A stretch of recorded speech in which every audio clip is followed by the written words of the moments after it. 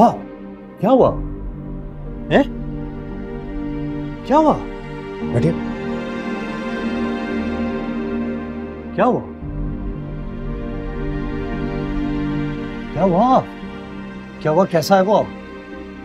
उसकी हालत अच्छी नहीं है यार। डॉक्टर कह रहे हैं अगर सुबह तक उसे होश नहीं आया तो कुछ भी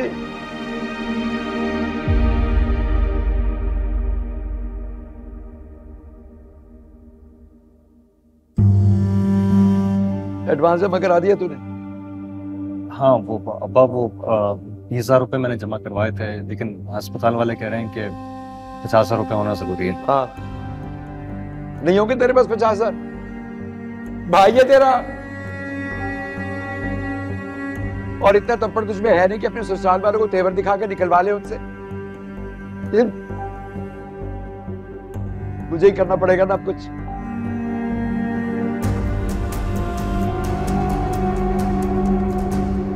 तो